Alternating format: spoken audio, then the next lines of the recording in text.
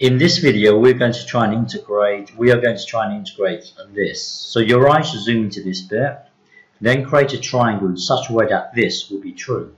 So create a triangle in such a way that this thing will be true. Well, if you make the hypotenuse to be 1 and uh, and the opposite to be x, then the adjacent, then the adjacent will have no choice but to be square root 1 minus x squared.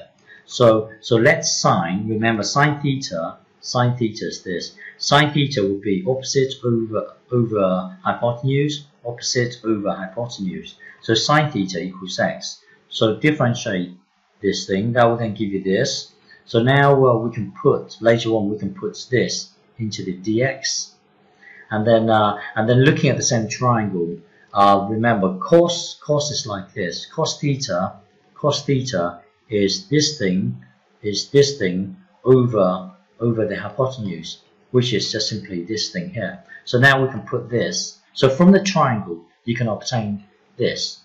From the triangle, you can obtain this. So now we can put this into the complicated bit here, into this complicated bit here, and then now we can put the, the dx into this thing here, and then uh, x to the power 4, well go back to here, x to the power 4 would be sine to the power 4, so we can put sine to the power 4 into here. So, the, so, uh, so that this thing here will then become this, this thing here will then become this, and then this thing here will then become this. So now it's just a matter of tidying this up.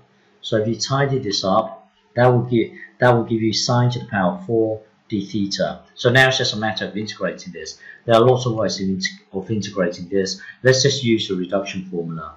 So using the reduction formula, remember Rn is 4. Rn is 4. So n is 4. So using the reduction formula, um, minus 1, minus 1, uh, 4, n is 4 remember, 4, and then 4 take away 1, that would be 3, and then uh, 4 take away 1, that would be 3, 4, 4, 4 take away 2, that would be 2.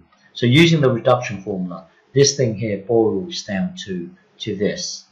Uh, now apply the reduction formula again on this.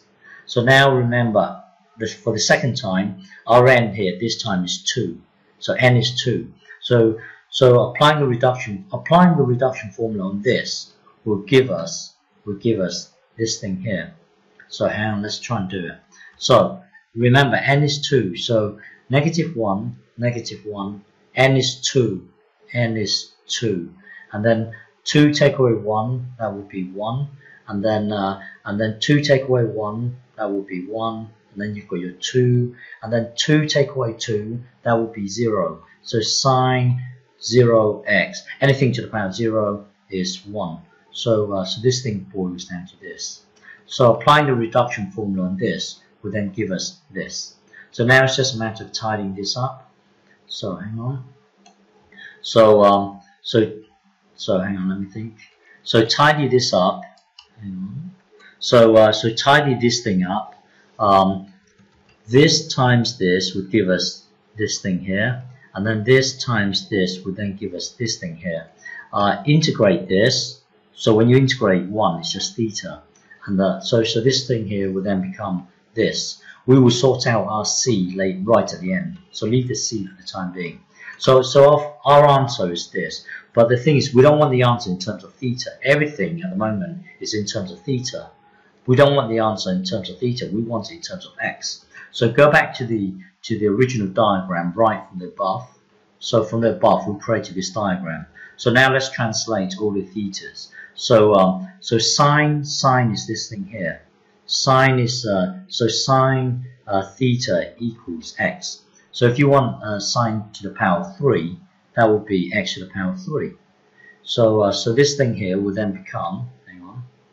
So uh, so this thing here, this thing here will be will become x to the power 3. And then now translate cos theta. Well, cos is this thing here. So it would be this thing over the over the hypotenuse, which is 1. So uh, so this thing here would then give you this. So hang on, cos theta is this thing. Uh, sine to the power 3 is this thing.